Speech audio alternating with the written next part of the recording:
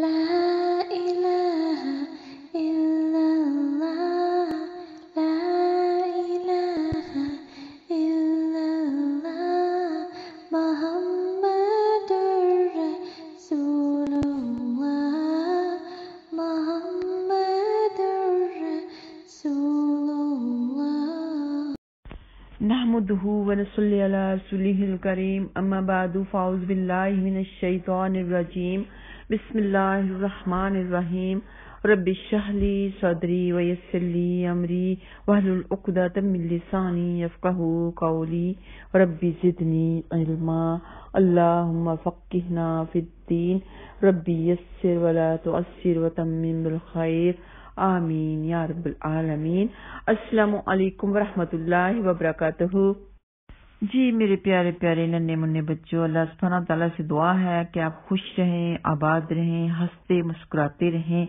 तो आज का सवाल है कि अल्लाह सुब्हानहू तआला के साथ मुसलमानों को क्या अकीदे रखने चाहिए? अल्लाह सुब्हानहू तआला के साथ मुसलमानों को क्या क्या अकायद रखने चाहिए? यानी अल्लाह के लिए क्या क्या अकीदा रखना ज़रूरी है? तो जवाब इसका ये है कि अल्लाह सुबहाना तआला एक है, ये अकीदा रखना चाहिए।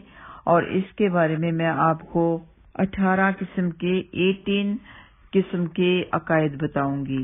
तो इससे भी ज़्यादा है, लेकिन 18 अकायद का रखना बहुत ज़रूरी है। तो नंबर वन है, अल्लाह सुबहाना तआला एक है। नंबर टू, अल्लाह सुबहाना तआला ही की इबादत और बंदगी करनी है। इसी के लायक अल्लाह सुबहाना तआला है, कोई और इसके लायक नहीं है, और इसके सिवा कोई बंदगी के लायक नहीं। नंबर थ्री, उसका कोई शीक नहीं। नंबर फोर, वो हर बात को जानता है, कोई चीज़ उससे पोशीदा नहीं। नंबर फाइव, वो बड़ी ताकत और कुदरत वाला है। नंबर सिक्स, उसी ने ज़मीन, आसमान, चाँद, सूरज, सितारे, फरिश्ते, आदमी, जिन वह तमाम जहान को पैदा किया है और वही तमाम दुनिया का मालिक है। नंबर सेवन वही मारता है, वही जलाता है। यानी मखलूक की ज़िंदगी और मौत उसी के हुक्म से होती है। नंबर एट वही तमाम मखलूक को रोजी देता है। नंबर नाइन वो ना खाता है, ना पीता है, ना सोता है। हमेशा जागता रहता है, ना उसे ऊंघ आती है। और इसके बारे में आयतल कुर्सी पढ़ेंगे तो आपकी मालूम में और भी इजाफा होगा, इंशाअल्लाह ताला। अच्छा जी, नंबर टेन, वो खुद ब खुद हमेशा से है और हमेशा रहेगा। नंबर इलेवन, उसको किसी ने पैदा नहीं किया। नंबर ट्वेल्व, ना उसका बाप है, ना बेटा, ना बेटी, ना बीवी, ना किसी से उसका रिश्ता नाता। वो इन तमाम तलकात से पाक है। नंबर थर्टीन सब उसके मोहताज हैं, वो किसी का मोहताज नहीं और उसको किसी चीज़ की हाजत नहीं। नंबर फोर वो बेमिसल है, कोई चीज़ उसके मुशाबे यानी उस जैसी नहीं। नंबर फिफ्टीन वो तमाम ऐबों से पाक है। नंबर सिक्सटीन वो मखलूक जिसे जैसे हाथ पाओ नाक, कान और शक्ल सूरत से पाक है। नंबर सेवनटीन उसने फरिश्तों को पैदा करके दुनिया के इंतजामों और खास खास कामों पर मुकर्र फरमा दिया है।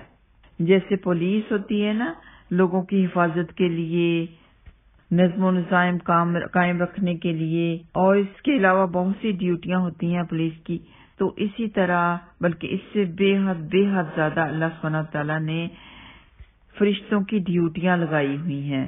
कोई आपकी बुराइयाँ लिखता है, कोई आपकी अच्छाइयाँ लिखता है, कोई आपकी हिफाजत करता है, कोई आपकी नमाजें लिखता है, कोई सुबह को आते हैं, कोई शाम को आते हैं, यानी असर के बाद कोई आते हैं, कोई फजर के वक्त आते हैं, कोई मंडे वाले दिन आपका हिसाब किताब लिखने के लिए आते हैं, कोई थर्सडे वाले दिन आते हैं, कोई साल बाद आते हैं। आपके पूरे साल का हिसाब किताब लेके जाते हैं। गर्ज के तरह तरह की ड्यूटियाँ फरिश्तों की अल्लाह सुबहाना तआला ने लगा रखी हैं। कोई जान निकालने के लिए है तो कोई कब्र में हिसाब किताब लेने के लिए है। अच्छा जी, नंबर एटीन है कि उसने अपने मखलूक की हदायत के लिए पैगंबर भेजे कि लोगों को सच्चा मज़हब सिखाएँ, अच्छी बातें बताएँ और बुरी बातों से बचाएँ। तो ये जो अठारह बातें मैंने आपको बताई हैं, इनके बारे में अकीदा रखना बेहद ज़रूरी है।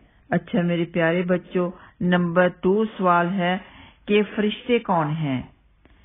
इसका जवाब यह है कि फरिश्ते अल्लाह तआला की एक मखलूक हैं, नूर से पैदा हुए हैं, हमारी नज़रों से गायब हैं न मर्द हैं, न औरत हैं। अल्लाह की नाफरमानी और गुनाह नहीं करते।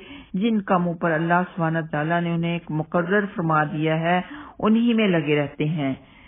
एक सेकंड के लिए भी नहीं चूकते। अल्लाह सुबहाना तआला के बेहद बेहद फरमाबरदार हैं। और सवाल नंबर तीन है, मेरे प्यारे बच्चों, के फरिश्ते तो नूर से बने हैं तो शयातीन और जिन्नात किस चीज़ से बने हैं? तो सोचें कि क्या जवाब है इसका।